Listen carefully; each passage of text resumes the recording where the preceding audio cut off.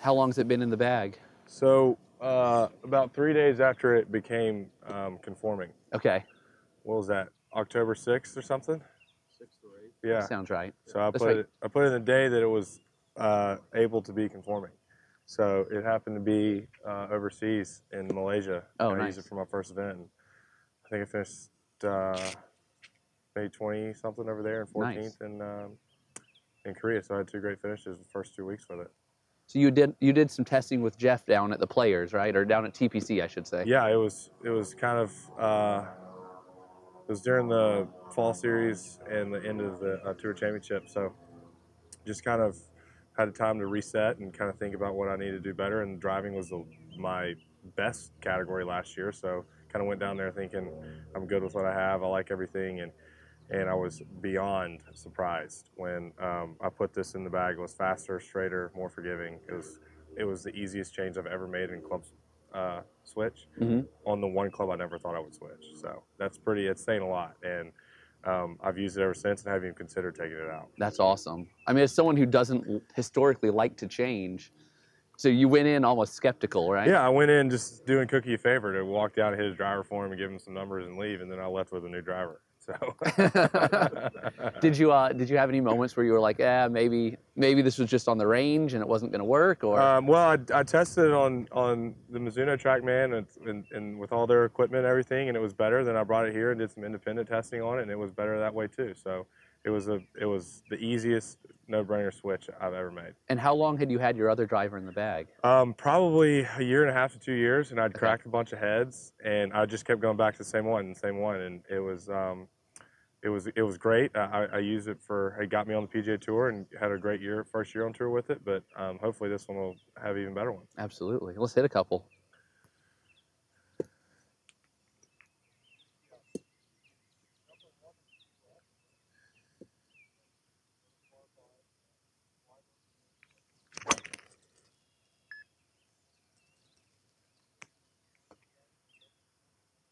Nice. So driving's always been one of your strong suits, right? It, it has been, and I've uh, been fortunate to uh, be blessed with some good club head speed, and as long as I can keep it in the fairway, then I'm using it to my Right. my advantage. And you know, I've I've that's what I've always worked on is keeping the spin down and um, trying to work it left to right. A lot of times, uh, a lot of new technology is based for hitting it high in a draw, Right. where I kind of hit down on it and like to see it fade. So I've always had some difficulties in terms of finding a driver that fit my game. But with these new, there's two new drivers that came out, and one's more fade bias and draw bias, in my opinion Right. and what I use. And this driver was helped me do that without compromising the technology in the head. It's, it's funny you say you you want to keep your spin down, but you also want to you hit down and you hit a cut. Both things that increase spin. Right. I think it's just the speed at which I hit it adds Yeah. so much spin. Right. Um, I mean, I use a golf ball that has, has very little spin. I use a shaft that has very little spin, and a head that has a lot of uh, face weight in it. Just because of the speed that I'm hitting the ball, if it has too much spin, it starts rising this way. Right. And I can always play a flat cut and, and be fine. If it's the fairways are firm, it's going to go a while, and if Right. the fairways are are uh, wet, then everybody's hitting it shorter. So Right. it doesn't really doesn't really matter. Right.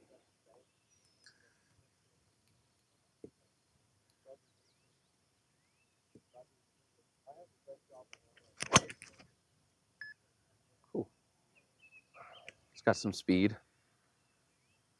That was uh, that was a little bit more solid than the last one. How do you feel you are distance wise, just compared to the tour?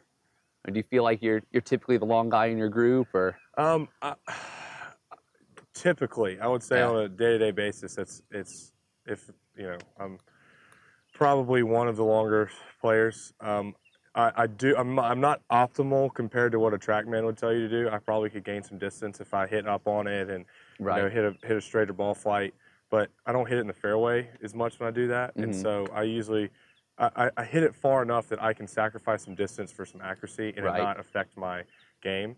And so, you know, if I need to put a little extra on something for a carry and there's a wide fairway, I'll tr- sometimes try to, you know, manipulate a little Yeah. bit. But that's, I mean, that's very rare. What happens when you hit up on it? Is it is it, It, it, well, the, the driver that I have and it's made for me, it doesn't really turn over as much. Yeah. I mean, I really have to work on it to get it turned over and stay in the air, just because it doesn't have enough spin to do that. Right. So I'll really, it'll have to be a really warm day. I'll Right. tee it up a little bit higher, have a little extra in that backswing. Yeah. But um, we can we can see if we can do one today. It might it's a little a little chilly, but we, we might be able to pull one out of here.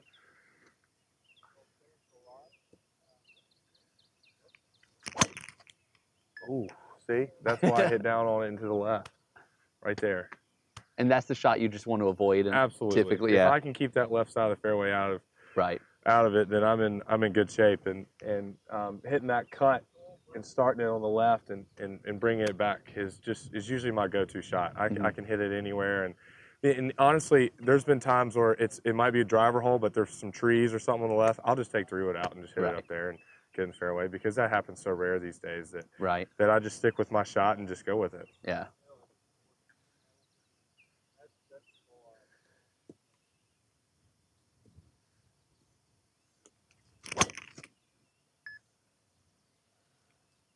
Seventy-eight. It's a cold. It's a cold day, and it's cold- still 178. It's a cold day, and he hasn't hit any since uh, RSM. Right. A month and a half ago. Yeah. But anyway, we're uh I would say I would say my tournament speed, Yeah. especially in warm weather, is, is always faster than the range speed, just because of adrenaline and, yeah. and, and things like that. And your you know your body's been moving all day, so that's that's that's tough sometimes when you fit yourself on the range. That your tournament swing might be a little bit different. And for amateurs, it you know it's the same. It might be slower on the course or faster on the range. It's it's it's very different. So the key to fitting a driver is is find something that works on the range, but then you got to take it on the course. You got to put it in play. And that's what you said what you did.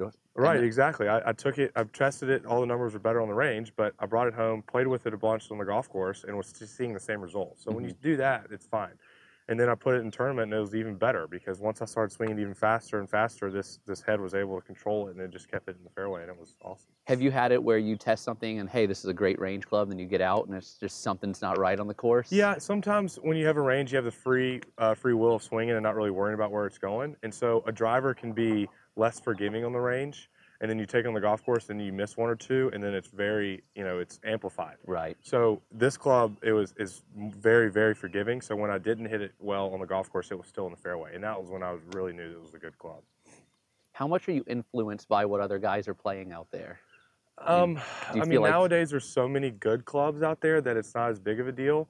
But um, if you see a trend where multiple guys that don't have club contracts start gravitating to one specific club, that's Right. when you know because those guys aren't paid necessarily to play that club and they're all using the same thing. That's when you know it might be a little bit better. Yeah. Um, and you know, fortunately, I, I had an open open-ended a lot of on my clubs, and this was the absolute best on the market at the time. And Well, it's funny. I feel like you've been one who kind of started one of these trends on tour right now, where you know it's you you took a chance on it, and and all of a sudden it feels like there's momentum gaining on tour with this club. Exactly, and and it's a lot of like I said, a lot of guys that don't have driver contracts coming up. A lot of them are starting to use this club because they see what I see that it's it's great and it's, it's got a lot of speed and it's got a lot of forgiveness. So, um, I mean, I'm more than pleased, and I think a lot of guys out there are as well. That's great.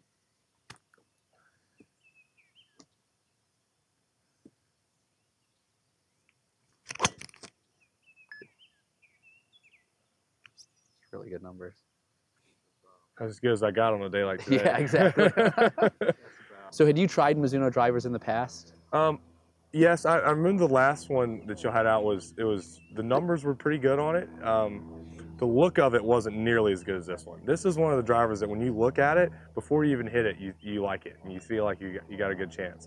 And that's a big thing with guys that if they don't like the way you it looks when Right. you look down at it, it, it's not a good start. Right. And that's that's a tough tough battle to fight because I mean you got to look at it every time and be confident in it. And if and but this one, thank goodness, just looks incredible. Mhm. I mean, I like the shape of it, I like the color of it especially, and um, so that's step number one.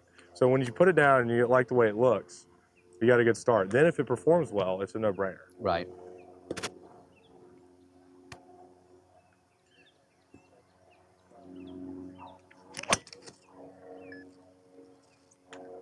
Did you hit the? This is the standard ST 190, and then we also have the G with the movable weights. Did you try both of those? I when you were did. I like the way uh, is it the G? Is that the other? I like the way the G the sound, It had a great sound Mhm. and a great look, um, but I wasn't able to shape the shot that I Mm. like to normally hit as well as Right. this one.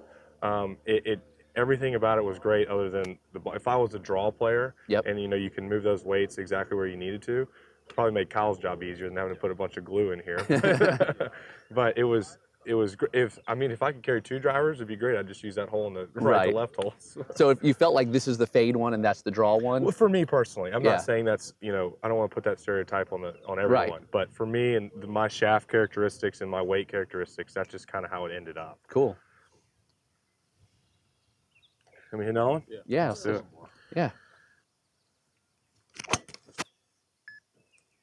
Great ball there. It's such a flat trajectory for such a uh, for a fast ball speed. Typically, you you're used to seeing that type of ball speed get way up here. Yeah. a little higher. Yeah, I mean I might be a smidge higher than normal. I mean Mm-hmm. just with the just the cold and the, all the layers on it, you can't get quite around it, which is so tough for us when you you have to go to different environments. I mean we went from Malaysia this year, which was 100 degrees and Right. and humid, and we're the ball's going forever. To the very next week we go to Korea, and I mean I had hand warmers and four layers on. I mean my entire uh, clubs changed everything. Like my, my distances were changing, my trajectories were changing, and so that's what's that's what's fun about you know when you travel so much and play in different environments and different grasses that you really have the ability to you know to change and you have to figure it out. And Do you try to put math to it? Like, do you try to get like on TrackMan I don't. I, I don't. I- I mean I think guys like us have played enough that you should know that, and Yeah. if not, and you're relying on a machine to tell you what to do, then right. I mean. Good luck. I mean, I know people do it, and so Yeah. I'm not saying it's wrong. right. But I mean, I've I've played enough in cold weather and hot weather that I can kind of tell how far the ball's going. do you make any adjustments ever to your clubs between between setups Um, between tournaments? No, um, I, I don't. I mean, I could I I can probably count on one hand the amount of times I've done it since I've turned pro, and I- just think if you have a good club, that it Yep. should work in everything. It might not be great in one week, Right. but if you start changing every week, you could just get lost because every grass is different, Right. every weather is different. And you know, it might rain one day and it might not the next. And then all of a sudden you're trying to switch and you're carrying two sets of clubs with you all the time. Right. I just think that you're, you're it's not as easy. So I mean, I've worked with Kyle and Cookie on getting my set exactly how we need it. We got all our numbers on a sheet of paper and in a computer, and about once a month, I would About say. once a month, Check off the lines, that's Yep. it? Yeah, And we put new grips on occasionally. The yeah. ni- The, nice thing, it sounds like you just try to minimize variables out there. It's exactly. Like, I There's know enough already. I mean, Right. why add more? Right. so it's been uh, it's been very helpful. They have the truck out there, and we can walk in and and they have the machine. And I mean, I know they calibrate it about once a year, so it makes everything very very simple. We when only time I change my clubs is when I change them back to what they were supposed to be. Right. So when you like when you set up a driver, do you know in one swing, hey, this is going to work, this is not going to work? Two Or- swings. Two swings. because I might hit a my first swing might not be my best Right. swing, um, which oftentimes is good because if you don't make your best swing and the ball goes in the fairway, that's great, and Yeah. then you make your next one, which is good, and it goes in the fairway, then you know. Right. So if you make a good swing, a first good swing, and it's not, it doesn't feel right. Then, It's out. Then it's yeah, I might give another shot. Right. I'm already thinking in my head it's not the one. Right. So No, that's really cool. Just hit, let's hit one more Yep. and then Yep, that's all you got eh, perfect. perfect. Glad I said one more, not two more. Oh, this one might. This one's hot. Cookie had it in there nice, and your fans in there getting it warm.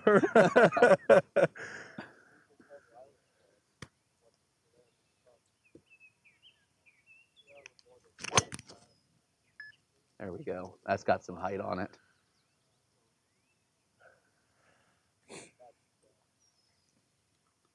It's great numbers. Perfect. Yep.